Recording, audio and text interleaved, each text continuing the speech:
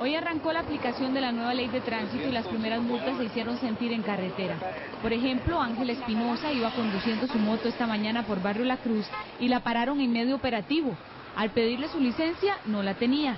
Se ganó un parte por 305 mil colones y le decomisaron la motocicleta. ¿Le quitaron la moto? Ajá. ¿Y por qué? ¿No tenía licencia? Sí, no, estaba en trámites.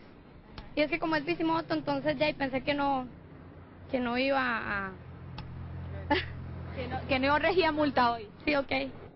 ¿A partir de qué cilindraje es que todo conductor de moto debe tener licencia? Lo que tenemos que tener muy claro es que de 50 cc para arriba todo conductor tiene que estar escrito como con su respectiva licencia para conducir.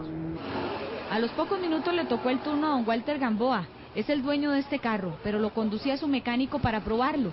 Lo que nunca imaginó es que el mecánico no tenía licencia y se ganó el parte por más de 300 mil colones y don Walter se quedó sin carro. Si me hubiera hecho a mí, yo hubiera andado el carro. Yo, yo estoy al día. ¿Y ahora? ¿De cuánto es la multa que se ganó? Yo no, él. O sea, que la pague el mecánico. Eh, Sí, por supuesto. El polarizado del vidrio trasero ha sido otra multa común de 117 mil colones. Esta mañana Adrián Sánchez se la ganó, pues aunque no lo detuvieron en el operativo, él paró por cuenta propia para hacerle una consulta al oficial y salió premiado con el parte. Me dice el chaval de una vez, eh, ¿me permite la licencia? Y yo, claro, no hay problema, y ya se la doy. Y me dice, eh, vale, vamos a hacer un parte por polarizado. Y le digo yo, pero no me dijeron nunca que parara ni nada. O sea, es- yo, le- yo lo único que quiero es preguntarles. Y me dicen, no, no, pero es que de cualquier manera eh, de, está infringiendo con la ley. Se calcula que solo esta mañana en el área metropolitana los oficiales hicieron más de 100 partes. Que tenemos un problema, un reflejo de incultura vial y a pesar que hay muchos conductores que sí se preocuparon y que tomaron una decisión proactiva, pues otros continúan pensando que eh, se puede seguir este, manejando sin eh, mayor situación.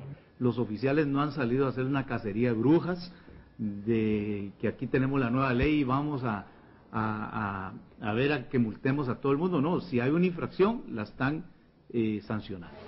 Según el ministro de Transporte, pese a la posición de algunos sindicalistas de los oficiales de no hacer partes como medida de presión por desinformación, la ley se aplica porque se aplica. No hay una ley que entre a regir que no sea para no aplicar y sobre todo si tenemos una policía especializada en el campo, tiene que aplicar la ley. Para evitar la corrupción, el MOB le pide a los conductores que denuncien a los oficiales de tránsito que intenten sobornarlos. Pueden hacerlo al 911 o al 800 tránsito.